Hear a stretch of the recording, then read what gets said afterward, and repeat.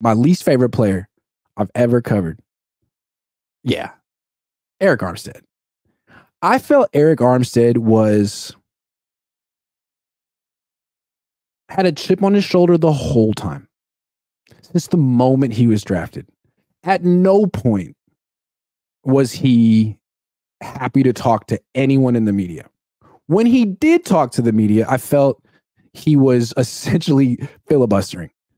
He would have the longest group interviews and say the least somehow. But that's not why I didn't like him. Armstead is like, fine, dude. I had no issue with Armstead until it was time for him to get his extension like five years ago, four years ago. And I wrote on Twitter that I didn't think they should give him an extension. I thought they, I said they should sign Clowney instead. Maybe not sign Clowney, but I, I wrote that. And he like quote tweeted it and really, really upset him. And I forget exactly what he said. But ever since that day, like once a year, out of nowhere, he would just take shots at me on Twitter about nothing or about something else. But it was all because I wrote one time on Twitter that the Niners shouldn't extend his contract. He flipped out about that, never, ever, ever, ever, ever let it go. I thought that was petty.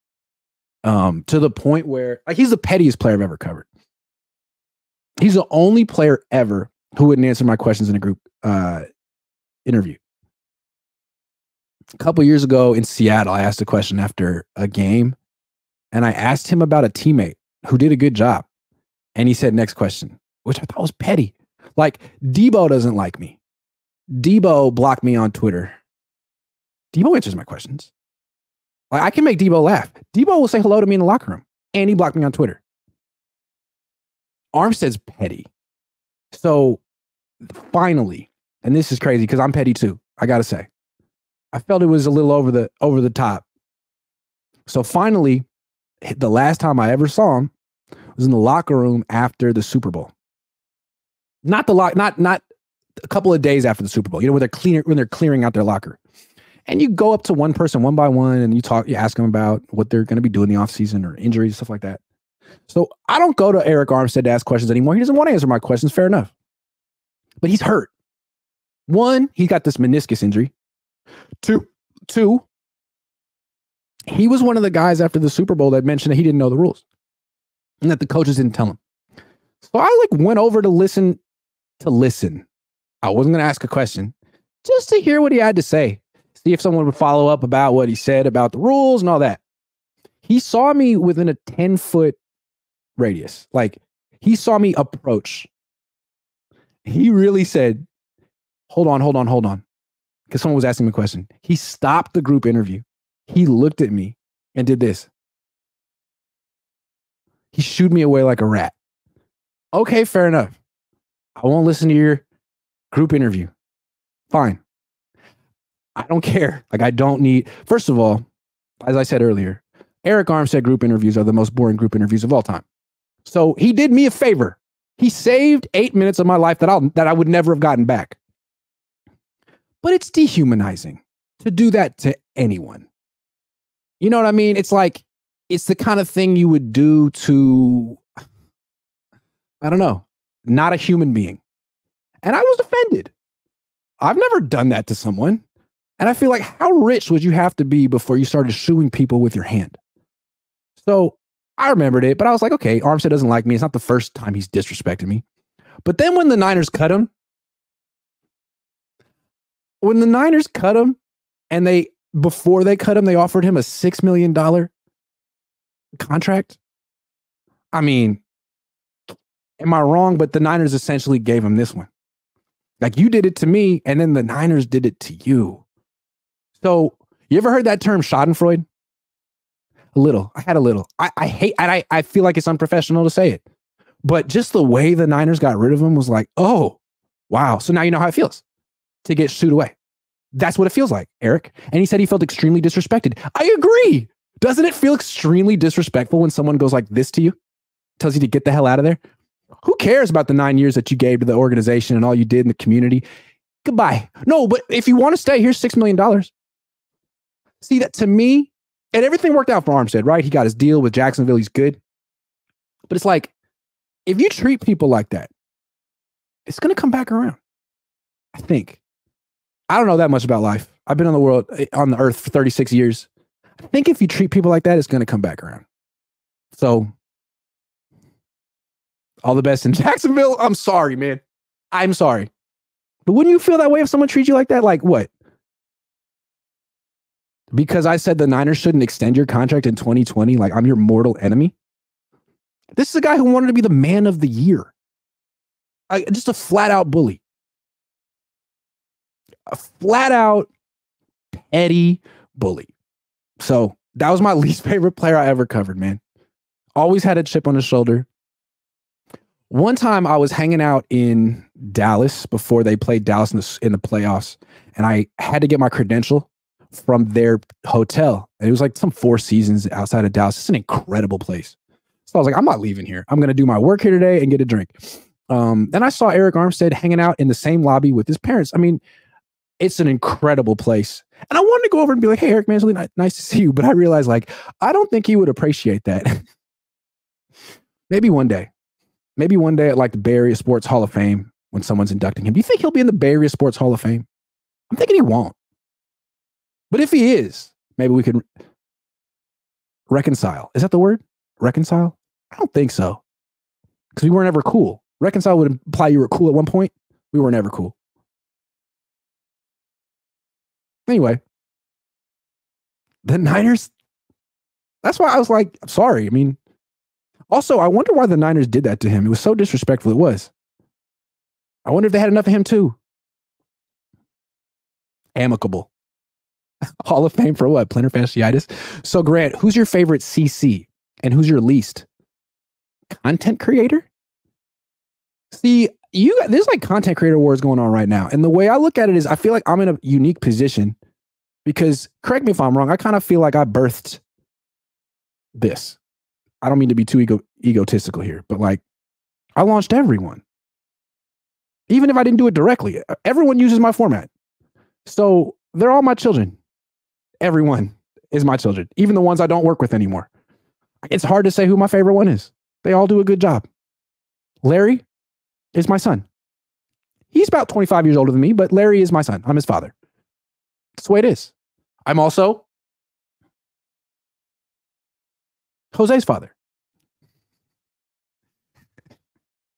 Are all my content creator collaborators going to get mad at me and, and stop working me because I said I was their father? Hey, man, that's not cool. I have a dad. Nope, it's me. Sorry. They're all my kids, all my children. I can't choose between them. I just wish they would stop bickering and stop asking me to break it up. What am I? I'm 36 years. I'm younger than everyone doing this. What do I need to do? I love Ryan. I love Jesse. I love Coach. I mean, these are guys I talk to on the phone all the time. Like we have group text messages. I love these guys. Which is crazy. Like some of my best friends, and I've never met the coach in real life. I've met Ryan once, and Jesse stayed at my house for a week. I am their dad. So when people try to ask me, hey, who, no, I can't do that. They're all my children. I love them equally. What's your favorite story of your dad's in the locker room?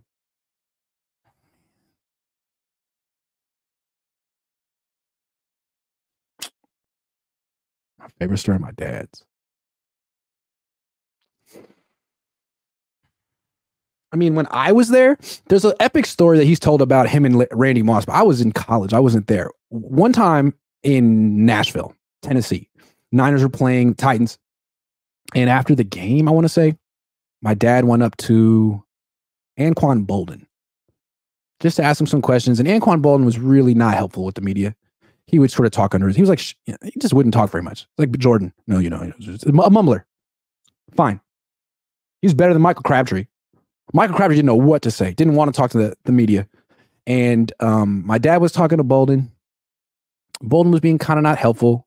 Crabtree came up and started making fun of my dad in some way. He, I don't think he knew who my dad was.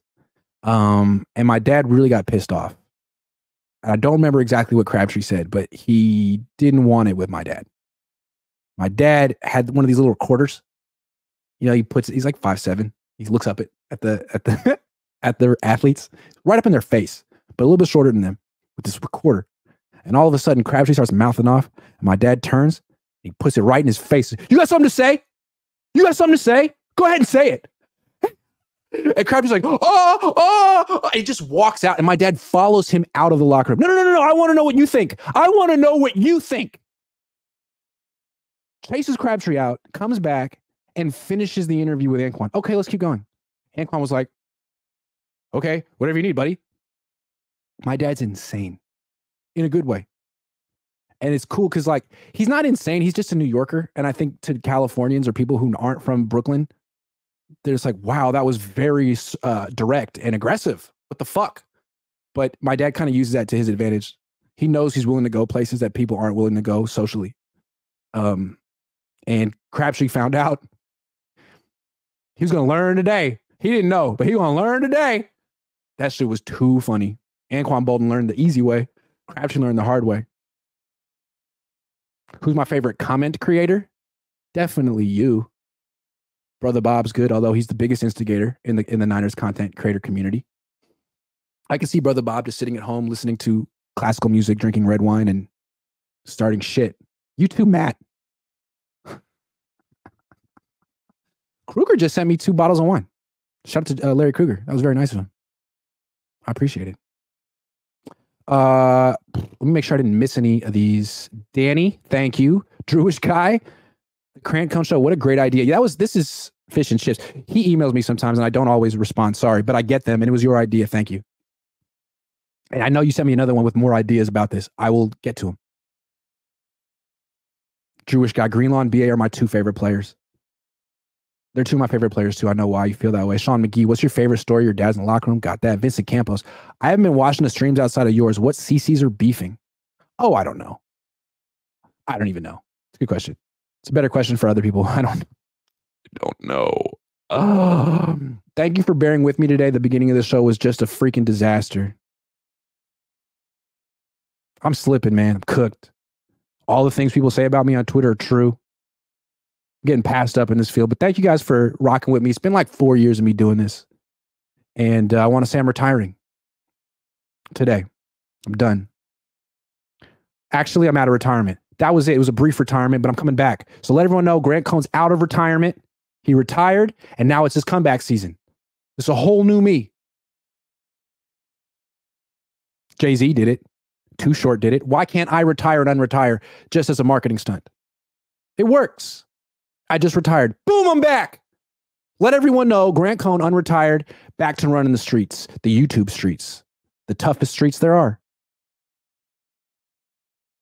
I'm I'm getting out of here, but before I do, brother Bob wants to know: Do you think we are legit Super Bowl contenders this year if we trade BA this offseason? I mean, can we can we look at Brandon Aiyuk's stats in the super in the playoffs real quick? Can we do that? Okay. Um, he had nine catches in the playoffs this year. Nine. It's three a game. Yeah, I think they can. Now he's great, but they don't use him that much. Three catches a game? Like, what are they going to do without those three freaking catches a game? And one of the catches was like saved their season for sure. The one that bounced off the dude's face, incredible catch. But other than that, he didn't do much in the playoffs. So yeah, I think they'd be all right. Do we get to the Yes. Yeah. Yeah. team is loaded. I think they would. Maybe I'm wrong, but I'm getting. I'm not saying like get rid of Aiyuk and then don't replace the position. Draft a guy and sign Tyler Boyd. I think that'd be all right. I mean, they're running the ball anyway.